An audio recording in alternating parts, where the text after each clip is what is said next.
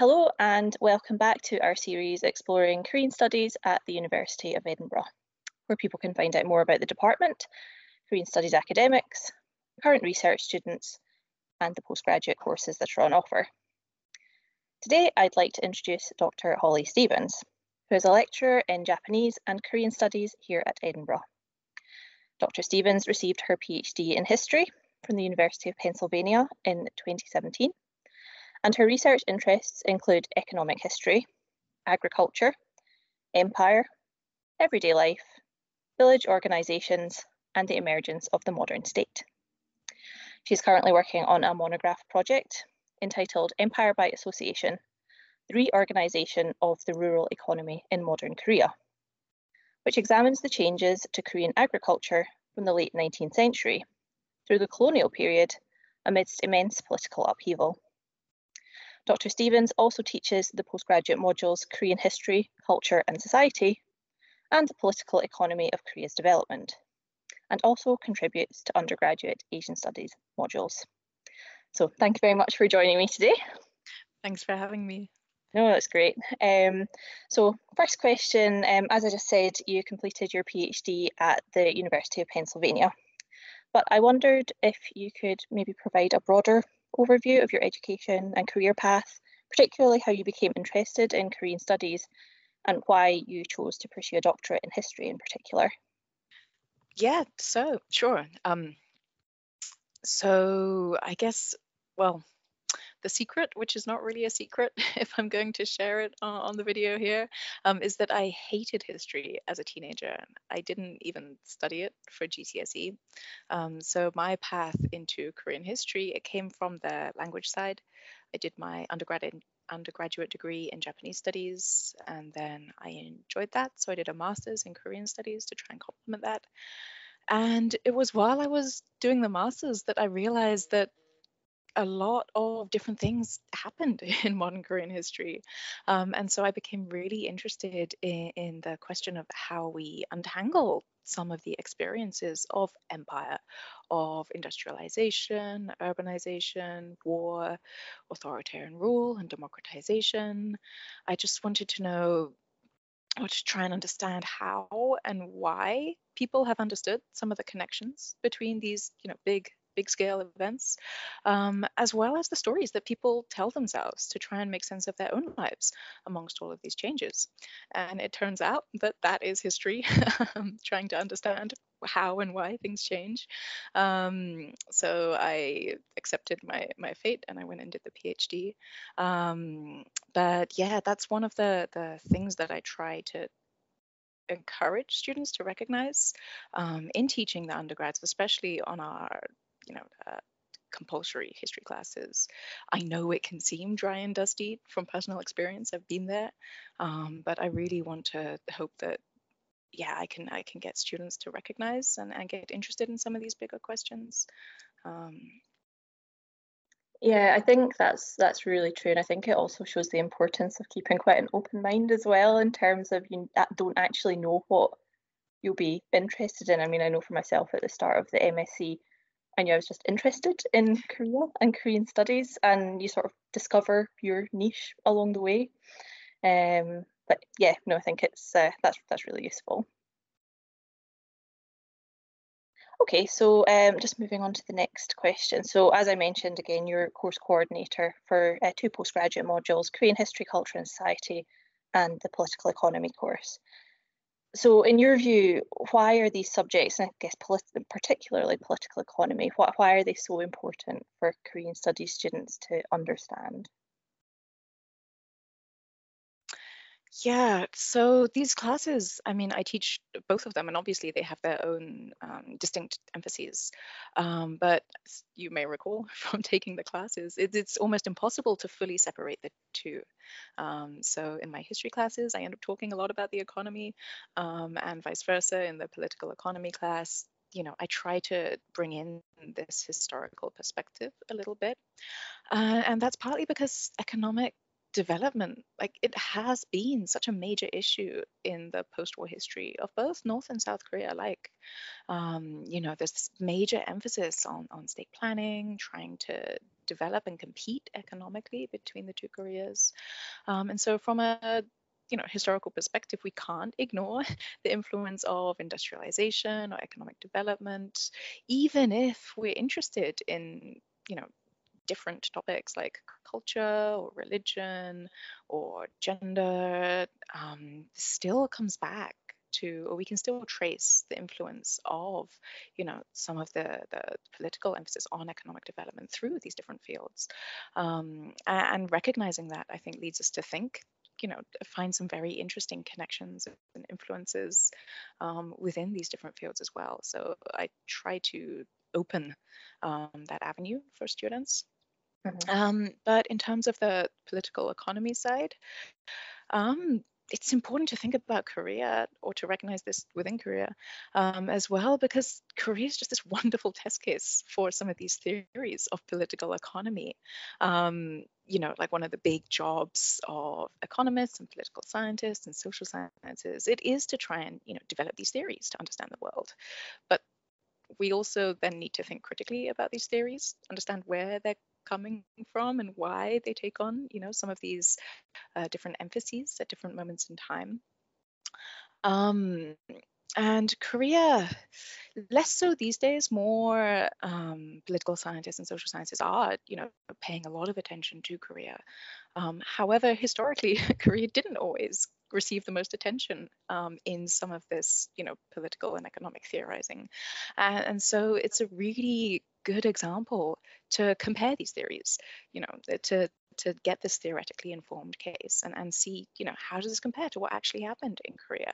You know, and then that not only tells us, you know, information about Korea, but it also helps us learn more about these theories and these ways of understanding development.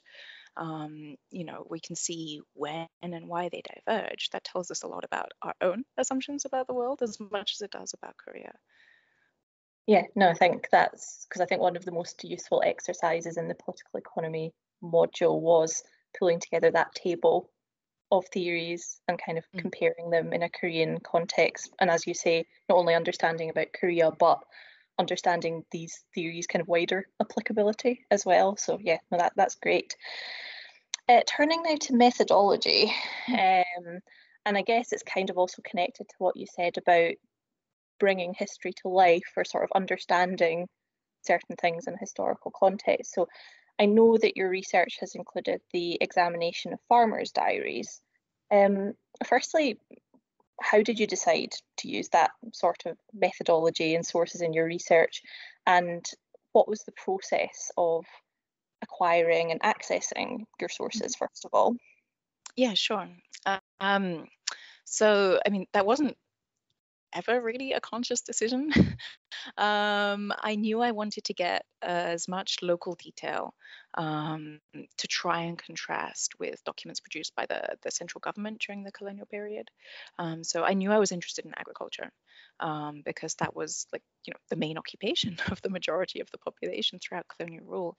So I wanted to see, you know, what changes are taking place. And a lot of the documents during that period are produced by the colonial government but I mean, there's always a gap between you know central government high level plans and then you know what actually happens um, between like lower levels of administration or just activity day-to-day life. Um, but this is especially you know a concern when we're thinking about the colonial period where these you know planners in tokyo and seoul like they don't necessarily even have the language um, to talk to Koreans, let alone consider what they're thinking. And so I really wanted to try and find, you know, just local history sources that might try and capture a bit of that gap. Um, so when I went to Korea to do my fieldwork, I basically visited a lot of uh, professors working on local history within South Korea. Um, so I visited Hamhani, uh, Ha Young-nan, Kim Pil-dong, um, Kim Hyun-suk, Lee Kyung-nan. Um, these were these professors, they were very generous um, with their time, just explaining to me about their research because a lot of these guys, they're engaged in, you know, developing some of their own archives of local history, as well as you know doing their own research as well um, so sometimes they were even generous enough to share some of their sources with me um, and so that was really helpful hearing about how they've been approaching it their experience with it when they failed to find the documents that I was looking for, that really saved me a lot of time. Um, knowing that you know the, these professors who have so much more experience, um, you know, they saved me a lot of time. Ultimately, I didn't find the initial set of documents that I was looking for. I wanted to find um, the documents from the financial associations, so the Kumyungtohap or the Kinyu Kumiai.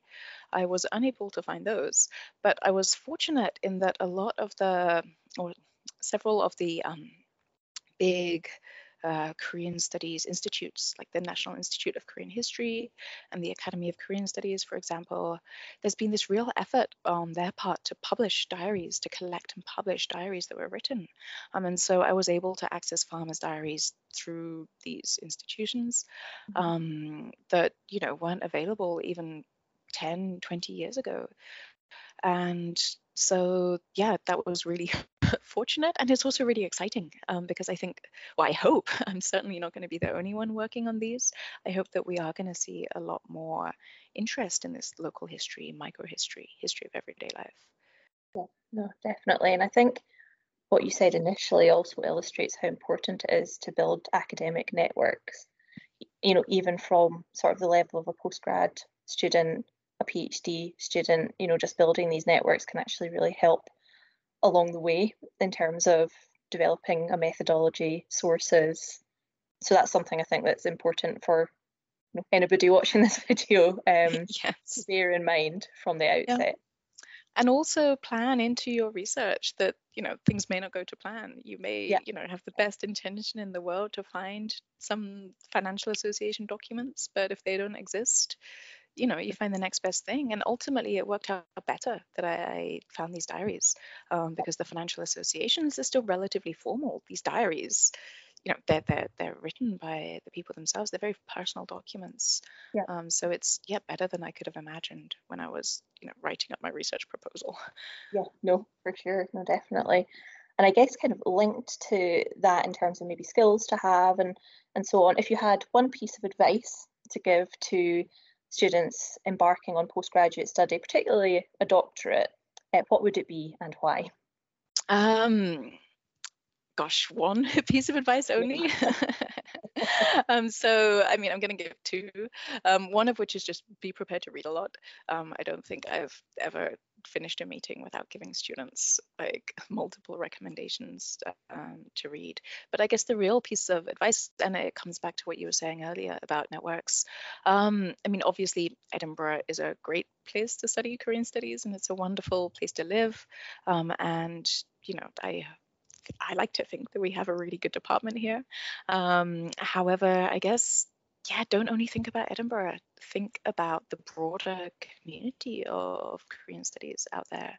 Um, because, I mean, Asian studies tends to be a smaller discipline within the UK, and Korean studies within that is all the smaller. And one of the benefits of that you know being so small i find is that there's a lot of activity and networks and a lot of you know research communities um, that people are very happy to you know build and and you know interact with one another even if we're not in the same place. Um, so there's you know like AKSE, the Association for Korean Studies in Europe. There's the Social Science Korea Network um, that Youngmi Kim is involved in. Um, and of course, you know, connections to and with scholars in Korea um, and the Korean institutes. I would say, yeah, if you want to study Korean studies at Edinburgh, um, that's wonderful. But yeah, I hope that we would help you to also, you know, go out into that wider world and take full advantage of the Korean studies community. Oh yeah, de- absolutely, definitely. And I think um, it's also probably worth worth mentioning that there's so much good targeted student and PhD related things to get involved in. You know, such as um, you know, UCLan do the postgraduate research seminars. It's a really good opportunity to present your work and get feedback from you know other academics in, in the mm. Korean studies and Asian studies community. So, you know, definitely worth I think taking advantage of those opportunities as well. well that's brilliant. So, lastly, ending on a sort of more lighter uh, mm. note. So, I I think I'm right in saying you didn't live in Edinburgh before you started working at the university. So, since you have lived in Edinburgh, is there mm-hmm. anything that you would recommend university related, a hidden gem, anything, anything at all?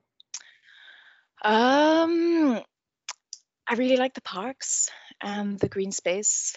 Um, I love the meadows, but also just the hills. Um, just being able to stay really within the city.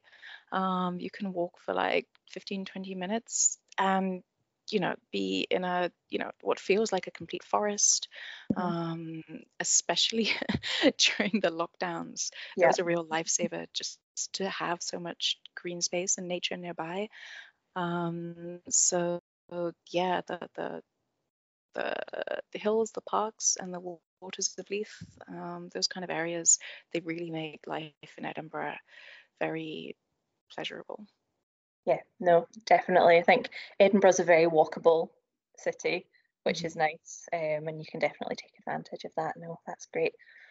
Well, this has been really useful, I think, to anybody watching this video. I think um, there's been some very interesting and helpful insights. So, um, thank you very much, Holly, for joining me today. You're welcome. Thank you.